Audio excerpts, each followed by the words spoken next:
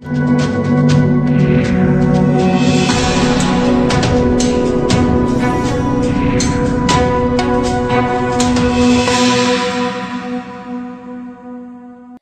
में cheque bounce के बहुत से मामले हैं, लेकिन अभी तक इन मामलों में कोई भी रिज़ल्ट नहीं निकल पाया है। अब इन्हीं मामलों पर सरकार नया प्लान तैयार कर रही है। अगर किसी का चेक बाउंस हुआ है तो न सिर्फ़ उस पर कानूनी कार्रवाई की जाएगी, बल्कि व्यक्ति के दूसरे अकाउंट से पैसे की वसूली भी होगी। सरकार ने आरबीआई के साथ मिलकर पूरी तैयारी की है और जल्द ही नया सिस्टम लागू कर सकती है।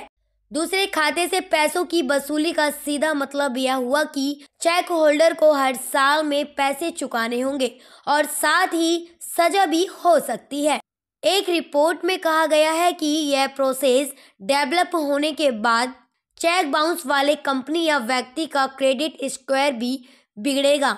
इसके अलावा इन मामलों के लिए लोन डिफ़ॉल्ट का नियम भी लागू होंगे। इससे चेक बाउंस के मामले में कमी हो जाएगी और खुद चेक बाउंस करने से लोग पीछे हटेंगे।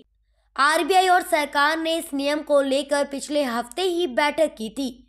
इस नियम को लेकर कहा गया था कि इसके आने से चेक बाउंस होने पर कोई नया अकाउंट भी नहीं खोल सकता है और साथ ही दूसरे अकाउंट से पैसों की वसूली भी होगी।